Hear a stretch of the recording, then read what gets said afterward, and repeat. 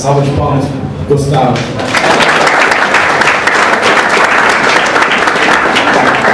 Bom dia a todos aí. Né? Uh, I'd like to thank you. It's very, very interesting speech. Uh, I, I will talk in Portuguese for them. if you don't mind, but uh, even for me, it was very interesting. Uh, a long uh, time of a career, and uh, I was uh, a little bit. Uh, I was happy and sad at the same time because I think my stage is already going down on that graphic. ok. É, senhores, eu não estou acostumada, como professor, a fazer aulas da palestras. O Daniel aí pediu para a gente vir aqui apresentar para vocês um pouco da, da empresa está aqui na Coreia. É, nós estamos construindo navios de sexta geração para perfurar lá os poços do Brasil no pré-sal. Todos já ouviram falar alguma coisa sobre o pré-sal. E a Queiroz Galvão, a empresa familiar, porque aqui muita coisa que se encaixa perfeitamente na, na história da, da empresa. A empresa Queiroz Galvão tem a Oligás, tem 31 anos de existência. Eu fiquei preocupado ali quando ele falou com 12 anos ia acabar, e 45 anos eu, eu já estou nela há 14 anos.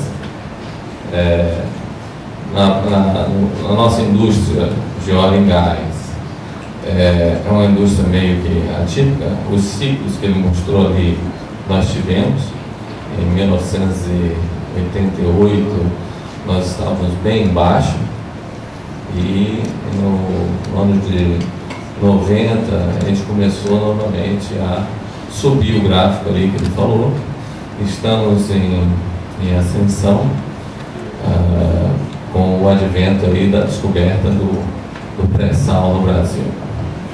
E também no movimento mundial aí de procura de de novas tecnologias de energia, mas o petróleo ainda é a principal fonte que, que move aí muita, muitas economias e muitas vidas, ainda, ainda mais hoje, é, com a, a descoberta na África também do pré-sal, na Austrália também, é, temos um novo campo muito promissor então, houve um movimento muito grande das grandes empresas, é, aquela Gabon não é tão grande como as outras, mas é, de construir, de tomar essa, é, esse impulso, construindo novas unidades para participar dessa nova, dessa nova era do petróleo.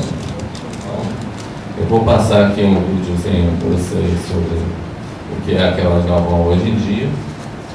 É, eu trouxe aqui comigo alguns engenheiros que são novos de casa, também pedi isso para mim, para falar com vocês, que vocês também estão, estão começando a carreira como eles também.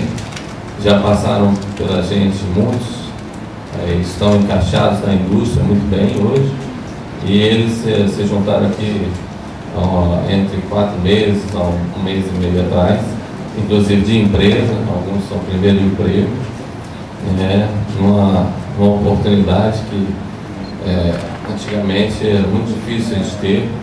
É, hoje vocês estão tendo, espero que aproveitem bem, isso aqui é um, um grande, um, um, grande passo na, na, no futuro, na carreira de vocês.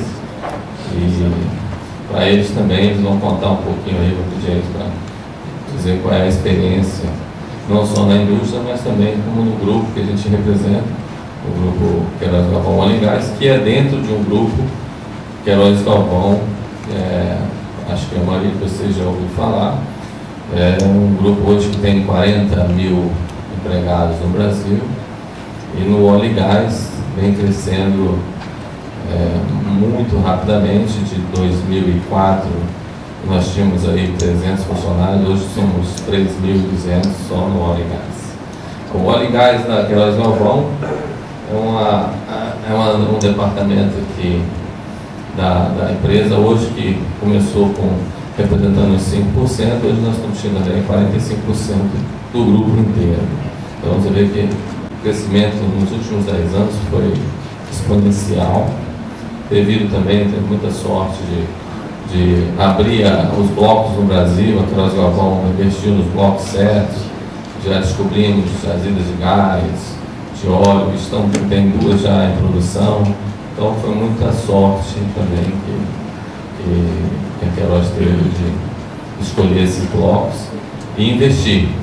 Investir sempre na inovação, como o professor falou ali. Então, o pessoal que começou, começou por acaso, o doutor João começou por acaso, estava nos Estados Unidos para fazer comprar máquinas, e um cara falou para ele, não, tem uma, uma sonda de petróleo ali, ele mesmo conta isso. O que, que é sonda de petróleo, meu amigo? Ele é pernambucano. Aí o cara falou, não, é para tirar petróleo, para botar nos carros. Tá? Ah, eu vou lá ver. Ele foi lá, aí comprou a sonda, com 150 mil dólares. Quando ele voltou para o hotel, ele ligou para o irmão, comprei uma sonda de petróleo, estou arrependido, acho que amanhã eu vou devolver. Ele falou, o que é petróleo? Eu não sei, O cara falou que era bom negócio, estava ali, me empolguei, fui lá ver, comprei. Aí agora estou com essa geringonça aqui, tem que mandar para o Brasil fazer uma coisa aí.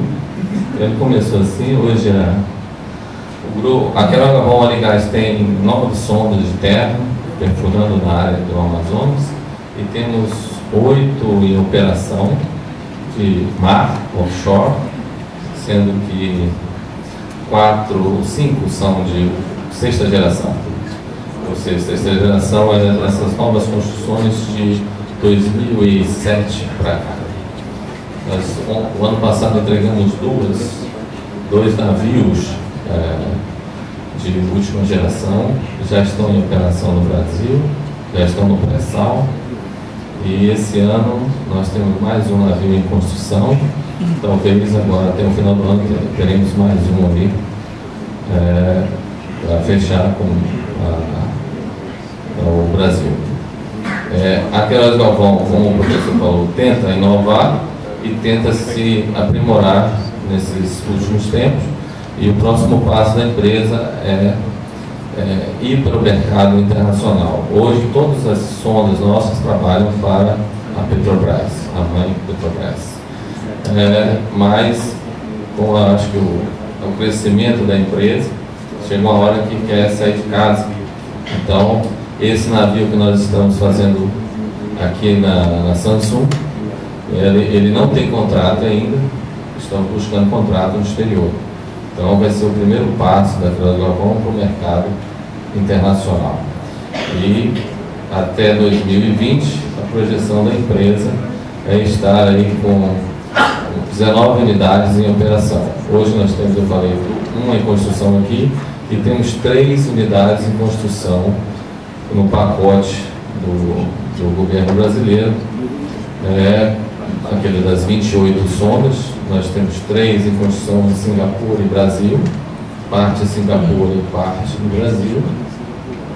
E nós temos também aí um estaleiro que faz parte do grupo, que deve construir mais cinco navios no Brasil, lá em Pernambuco, na, na sede da, da, da, empresa onde foi fundada. Vamos passar um pouquinho para vocês o filme aí e depois a gente fala um pouquinho do que a gente faz lá no estaleiro. navio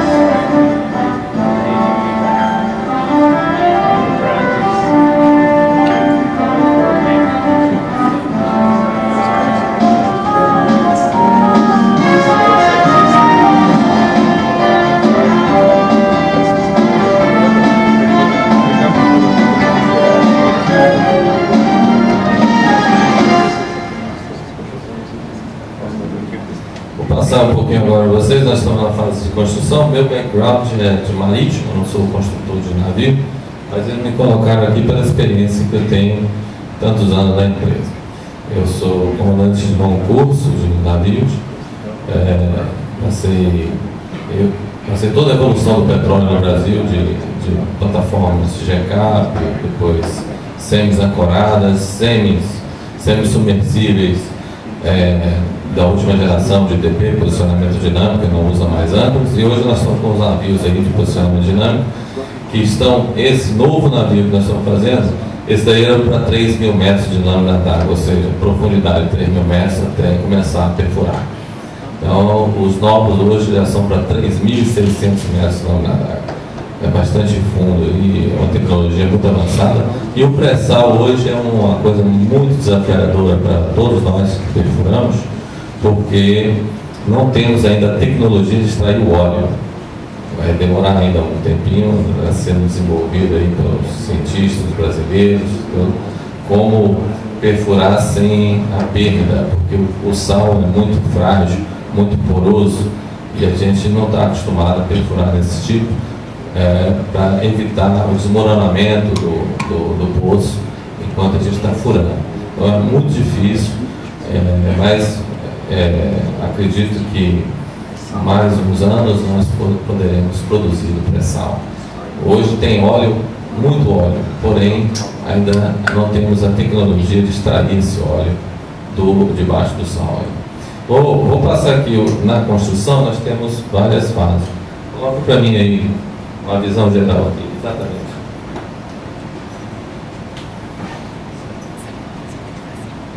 Bem, o navio, ele na Samsung, o jeito do, da Coreia de construir, ele é feito em blocos, é, é como um Lego. Não vou falar isso para eles, não, senão vou ficar chateado. É um Lego. O cara faz esses blocos, eles são padrões, uh, todos são iguais, né? E, em carreira sempre pode fazer, estão fazendo 10 lá ao mesmo tempo. E, e, e tem uma curva S de construção que eles seguem exatamente lá. O cara só faz aquilo. O cara que fabrica a proa do navio, ele, ele é treinado e fabrica só a proa. Então ele não quer saber do resto. Então o cara vai fabricar aquele bloco. Então eu levo deles aqui. Ele, nessa primeira fase, eles fazem a parte da máquina separado e a proa é um pouco mais complexo. A parte do meio é, são os blocos mais simples e depois eles juntam aqui é, esses blocos num, num, num mega bloco, vão para o dique seco, aí juntam a proa e a popa e depois aí jogam o navio na água, tira do dique seco, vai para um cais para montar a parte do topside, que é a parte da perfuração. Aqui embaixo é um navio comum, não tem nada para perfuração. A parte de cima é que é a parte dos blocos que vão para a perfuração, a não ser, claro, a acomodação e a chaminé aqui, que é lá todo navio tem. Aqui, aqui é a parte da perfuração, essa parte de preto, vocês estão vendo aí, são seis, seis blocos que fazem. E aí, quando ele vai para o cais, a gente monta esses blocos em cima, então está feito a parte de perfuração, que a gente chama de topside.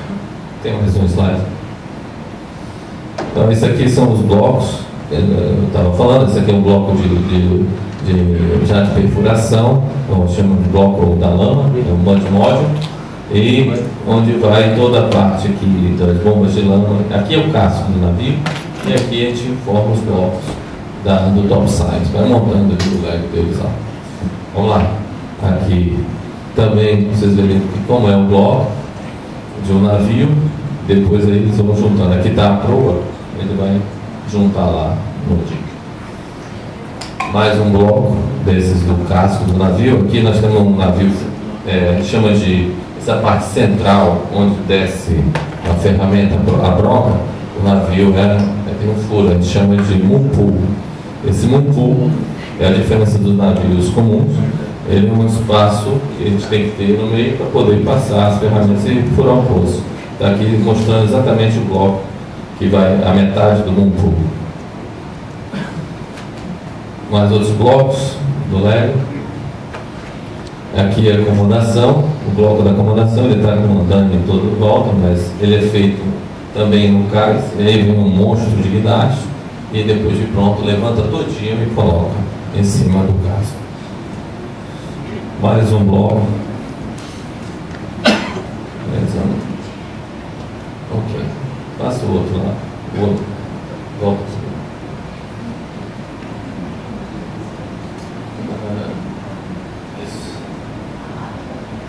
Mais ou menos aí para vocês entenderem o que eu falei.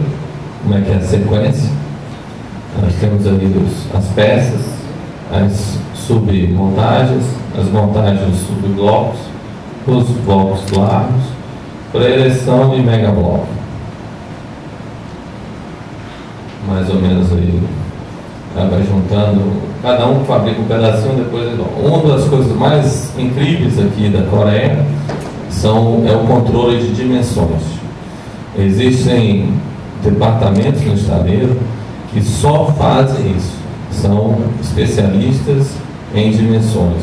Imagine você parece fácil, mas juntar um bloco que está trabalhando em outra cidade, em outra aqui, então juntar isso e dar tudo certo, inclusive com as tubulações. Então eles têm uma, uma coisa que nós não temos ainda no estaleiro no Brasil, é esse controle perfeito de dimensões, onde um cara vai encaixar no outro e não vai ter perda nem retrabalho para ajustar uh, como juntar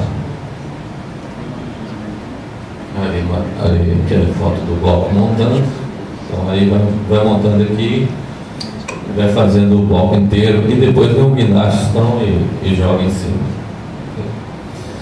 Não sei se dá para enxergar mais ou menos, né? a gente colocou aqui mais ou menos o um mapa do Samsung, o estaleiro, e como é que são as fases. O que está de azul aqui é onde a gente coloca o topside. O navio é feito, começa aqui, nessa parte, só chapa, começa a fazer as, as montagens dos blocos. Aqui também tem uma parte preta que é de montagem do bloco, depois vai para aqui para o dique. O nosso navio foi montado no dique flutuante. O mega bloco veio para cá, o gigabloco, aí junta mais dois, vira um gigabloco, e depois vem a proa e a polpa. Aí depois ele sai daqui do navio e vem para cá. Até aqui ele não tem força, não tem nada, não tem nada ligado nele. Então ele precisa da gente, a primeira coisa que fazer é tentar fazer funcionar os motores para ele ter os equipamentos para a gente começar a funcionar e testá-los. Então ele vem para cá, monta o topside todo aqui, aí depois ele vem para cá, onde há a força do navio, a gente bota para funcionar, e os equipamentos de perfuração, tudo isso, a gente vai começar a testá-los, e os thrusters que são os propulsores, são instalados é, por baixo, embaixo d'água, ele, a gente monta aqui por causa da profundidade. Daí, depois dos thrusters colocados, vem a outra fase que é de comissionamento dos equipamentos, testes e entrega. Ok? Passa mais um pouquinho. Não, de volta aqui. aqui.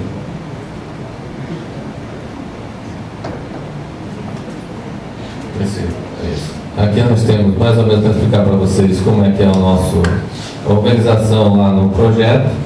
Nós temos a primeira fase do projeto. Nós temos, é claro, essa equipe aqui de suporte. A equipe de suporte lá. É, secretária, administrador e tal. Depois a gente monta a equipe de engenharia. Essa equipe de engenharia faz aí a revisão dos desenhos, se eles estão cumprindo com o contrato que nós queremos, se tá, tudo que a gente assinou, que o dono assinou lá, está refletindo nos desenhos, eh, nas tubulações, equipamentos, tudo, as normas e regras que a gente tem que seguir. Então toda essa equipe aqui faz isso. Aí nós estamos incluindo aqui, os meninos estão, os novos aqui estão incluídos aqui. Aí depois, terminando a engenharia, mais ou menos uns seis a oito meses, a gente começa a construção, corta a primeira chapa, aí entra essa equipe aqui. Alguns dos especialistas aqui vão para a construção e, e são enxertados com outras pessoas. Essa construção vai até uns, uns 10 meses, mais ou menos, 10 a, 10 a 12 meses. Aí nós temos um navio fora do, do, do que aí a construção praticamente já terminou, tem somente um acompanhamento e entra a turma do comissionamento. Quando o navio está flutuando, a gente já vai colocar no cais e vai ligar a força e tem que começar a testar. A testar os equipamentos que foram ligados dentro do sistema que ele faz parte. Aí a gente tem comissionamento do equipamento e depois tem o comissionamento do sistema que ele faz parte para ver se atende ao que nós queremos que ele trabalhe. Depois do comissionamento, nós temos uma turma que chega no finalzinho do comissionamento, que é a turma de, a gente chama de Rig Readiness, é o cara que vem de operação com visão de projeto. E para ficar um link entre o pessoal de operação quando chega para passar o serviço, dizer como é que funciona, treinar o pessoal, então essa é a turma do Rig Readiness e aí vem, se junta aí a turma da tripulação, mais ou menos uns três meses antes do navio sair, uh, completa, e a gente termina os testes com ele, vai para o que a gente chama de teste de mar, que é o Sea Trial, e depois é, onde são testados a sua parte de navegação, de força, de, faz a, é, a avaliação de velocidade, essas coisas todas, de manobra. é, faz a parte de perfuração, onde faz a integração de todos os equipamentos de, de perfuração e depois aí o navio volta, tira as pendências e vai embora. Então é uma, uma, uma, parte de construção. Vocês que o pessoal que vai fazer o estágio lá vai participar do finalzinho da engenharia e início da construção. Nós estamos exatamente nessa fase aqui entre outro, agora em agosto. Então dá para ver um pouco da engenharia, o fechamento da engenharia e a preparação para a construção.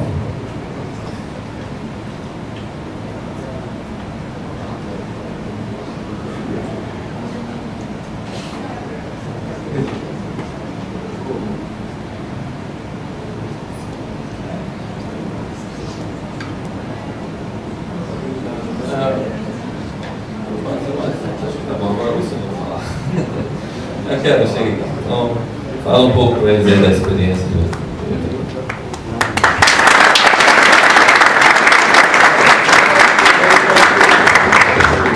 Uh,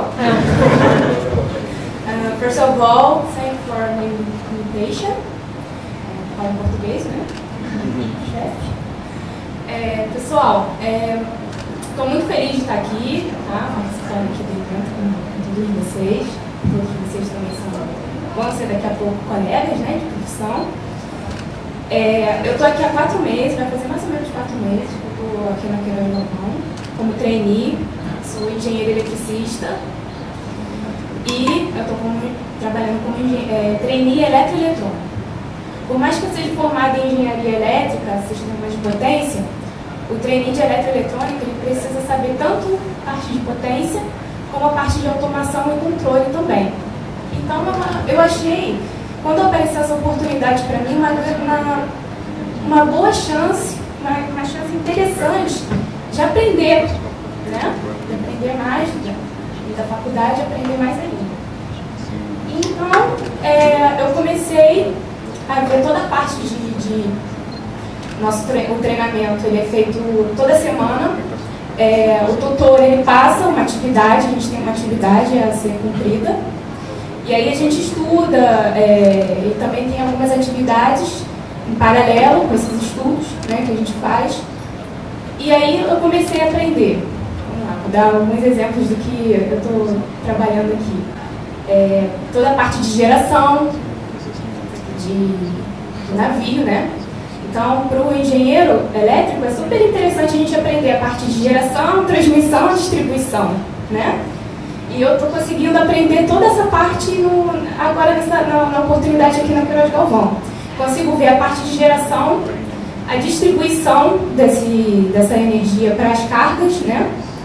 E todo o controle, porque tudo é automatizado dentro do navio, tudo, tudo. Vocês possam imaginar, é automatizado. Então, é, é mais uma, uma, uma, oportunidade de aprender sobre automação e, e os sistemas de controle, né? Como falei anteriormente. Então, eu consigo ver a parte de, de, de potência, é, eu consigo ver a parte de variação, controle de variação de frequência. Aqui tem muito engenheiro elétrico, não? Ah, então vocês vão entender mais ou menos. Então, consigo fazer toda a, a, ver a parte de variação de frequência do, do das cargas, do, do navio, da, das máquinas. É, eu vejo também toda a parte de automatismo, né? a parte de proteção da, da, da máquina, do, do, gerador e do barramento, de tudo mais que, que a gente consegue ter no navio da parte elétrica, a gente toda a parte de proteção a gente consegue ver seletividade e tudo mais. Além disso, parte de, de telefonia, circuito fechado de televisão, é, monitoramento, ah, tudo isso também está englobado no nosso, no nosso aprendizado e no, no nosso treinamento. Então, assim, para quem quer aprender, a Queiroz Galvão não é só porque eu estou aqui do lado do meu chefe, não. Mas é um, uma escola, está sendo uma escola para mim. Então, é, o que eu tenho a dizer para vocês, que quem, tem, quem quer, quem tem vontade de, de, de, de se candidatar a uma vaga para participar junto desse projeto com a gente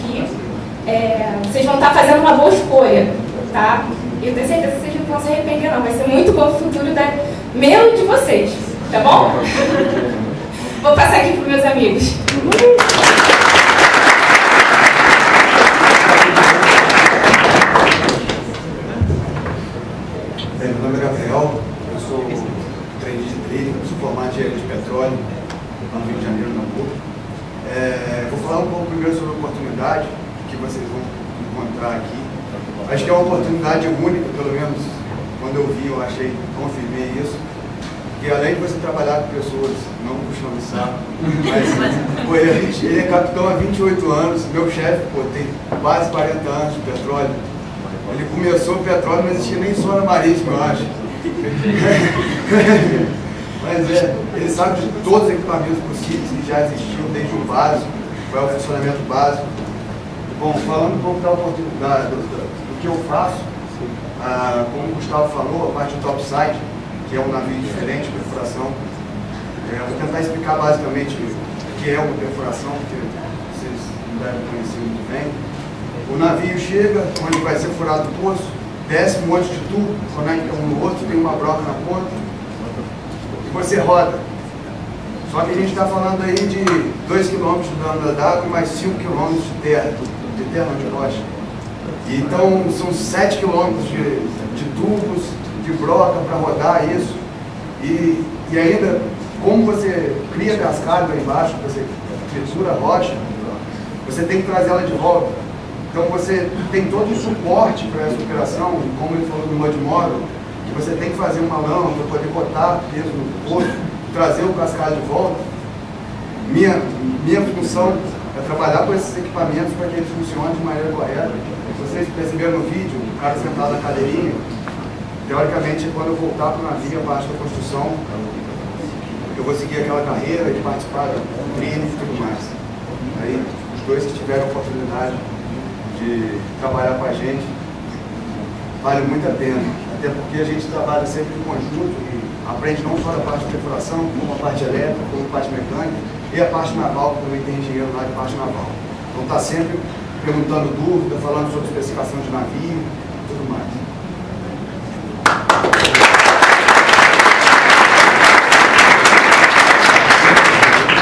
Bom dia, meu nome é Paulo, sou trainee de mecânica, me formei em 2011 e tive a oportunidade de trabalhar no Brasil, no estaleiro, durante um ano. Estava acostumado lá a entregar dois navios por ano. Aqui encontrei uma nova realidade. Aqui o estaleiro, se não me engano, chegou a entregar 84 navios por ano. Ou seja, a gente está um caminho bom para percorrer. É, como mecânico, eu vejo toda a parte de equipamentos em si. Vocês viram o tamanho das coisas que. É, das estruturas. Imagina tudo que é preciso para levantar, para içar, os guindastes, motor, filtro, bomba, todas aquelas matérias chatas que você tenta aprender na faculdade, tu vai precisar. E o grupo aqui está me ajudando a aprender bastante. Acredito que vocês em breve já tem um passo à frente a evoluir, porque tanto o país quanto o mercado mundial está precisando de bons profissionais. E vamos, vamos embora, vamos à frente.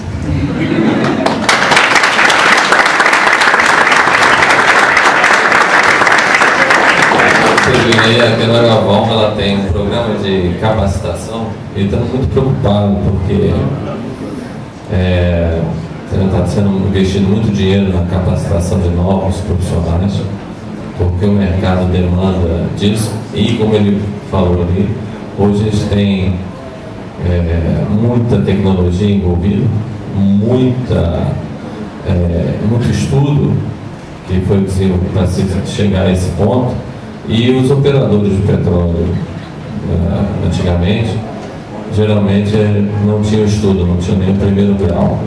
Então hoje, uh, desde 90 para cá, a pessoa que não se não evoluiu no estudo, não evoluiu na, na capacitação, ela não tem mais mercado para entrar no navio desse. Então as pessoas que, que estão em sondas antigas, eles não conseguem chegar aqui e operar um navio, embora tenham experiência no posto petróleo, com uma dificuldade imensa. Então, a empresa está investindo em engenheiros novos, é, trazendo aqui esse povo todo para aqui. Pra, o ano passado nós trouxemos 40 engenheiros, todos estão encaixados na, na empresa, nas unidades, faz parte dessa renovação com o, a gente chama de o, o thriller high-tech. Né? É, até eu mesmo vou para bordo hoje fazer os testes com os meninos novos de navegação, parte da minha parte naval. É, eu sinto dificuldade de. Eles têm muito mais facilidade de mudar a tela, fazer isso, aquilo, buscar o próximo, tudo é no Windows, tudo é. Aí eu fico, então, eu, eu sei o que vai fazer, mas faz para mim aí. a parte de experiência, a gente passa, nós estamos numa fase, eu falei, de transição entre a turma antiga e, em, como eu falei, em 88 nós tivemos uma baixa terrível no nosso mercado, então muita gente saiu do mercado e só retornou a contratar gente nova em 98, 99. São 10 anos de cap que a gente tem aí, que não se formou gente nova para petróleo. Então, ou você tem jurássicos de, de, de petróleo, ou você tem gente muito nova. E, e o petróleo, ou a perfuração, é um troço muito perigoso, embora tenhamos tanta tecnologia, mas continua ainda muito perigoso. Vocês viram aí o problema que foi no Golfo com a Horizon.